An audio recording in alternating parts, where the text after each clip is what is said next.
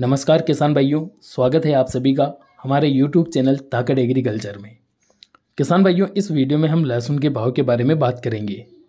आने वाले अप्रैल महीने में लहसुन का भाव क्या देखने को मिल सकता है, कितनी तेज़ी मंदी अप्रैल महीने में रह सकती है, इसके बारे में हम पूरी डिटेल के साथ में इस वीडियो में बात करेंगे। किसान भाइयों, इस इस पूरे वीडियो में हम कुछ ऐसे विषयों पर बात करेंगे जिससे हम काफ़ी हद तक अनुमान लगा सकते हैं कि अप्रैल महीने में लहसुन का भाव क्या देखने को मिल सकता है और लहसुन के भाव में अप्रैल महीने में कितनी तेज़ी मंदी रह सकती है। तो किसान भाइयों, वीडियो में आगे बढ़े, उससे पहले मेरा आपसे एक छोटा सा निवेदन है कि चैनल को अभी तक जिन भी किसान भाइयों ने सब्सक्राइब नहीं किया है, उन किसान भाइयों से मेरा निवेदन रहेगा कि सबसे पहले चैनल को नीचे जो आपको स्क्रीन पर लाल अक्षरों में सब्सक्राइब बटन दिख रहा है, उस पर क्लिक करके चैनल को सब्सक्राइब कर दीजिए और उसके पास में एक घंटी के निशान को दबा दीजिए ताकि आगे भी आपको इसी प्रकार की जानकारियाँ समय समय पर देखने को मिलती रहेगी। किसान भाइयों, बात करते हैं अब लहसुन के भाव में। तो लहसुन का भाव इस समय पर पाँच हज़ार से छः हज़ार, साढ़े छः हज़ार रुपये प्रति क्विंटल ऊपर में देखने को मिल रहा है।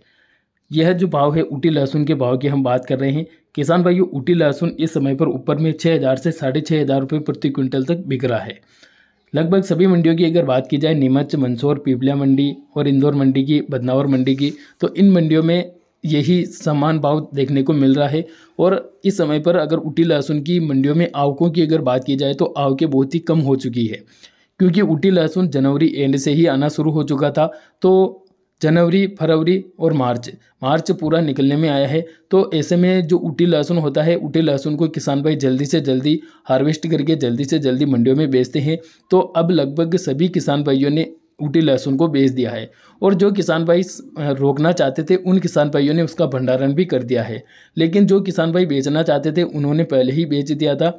अब जो किसान भाई ऊटी लहसुन लेकर आ रहे हैं तो वो बहुत ही कम मात्रा में लेकर आ रहे हैं। मतलब सीधे सीधे शब्दों में अगर कहा जाए तो ऊटी लहसुन की आवकें इस समय पर मंडियों में बहुत ही कम आ रही हैं।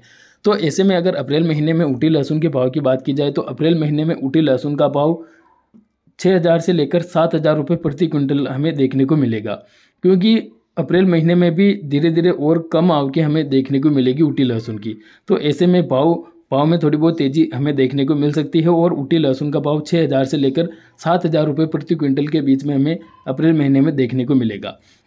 अब किसान भाइयों, बात करें अगर देसी लहसुन की तो देसी लहसुन भी इस समय पर पाँच हज़ार से लेकर साढ़े पाँच हज़ार रुपये प्रति क्विंटल ऊपर में बिक रहा है, जो कि एक्स्ट्रा फुलगोला एक्स्ट्रा माल होता है वो पाँच हज़ार से साढ़े पाँच हज़ार रुपये प्रति कुंटल हमें ऊपर में देखने को मिल रहा है। अब अगर अप्रैल महीने में देसी लहसुन के भाव की अगर बात की जाए तो देखिए किसान भाइयों, देसी लहसुन के हार्वेस्टिंग इस समय पर अधिकतर क्षेत्रों में चल रही है। मतलब लहसुन को खेत से निकालने का काम चल रहा है। ऐसे में जो लहसुन इस समय पर खेतों से निकल रहा है, वो अब धीरे धीरे मंडियों में आएगा।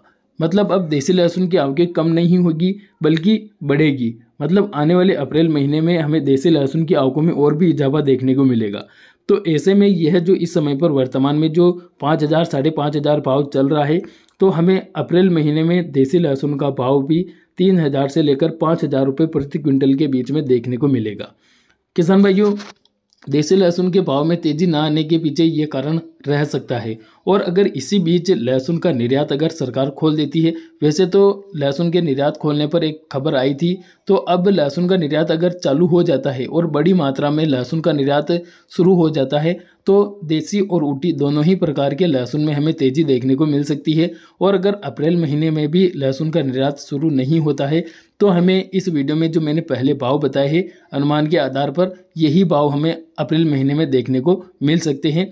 इस, यह अस्सी से नब्बे परसेंट इन्हीं भावों की संभावनाएँ जताई जा रही है।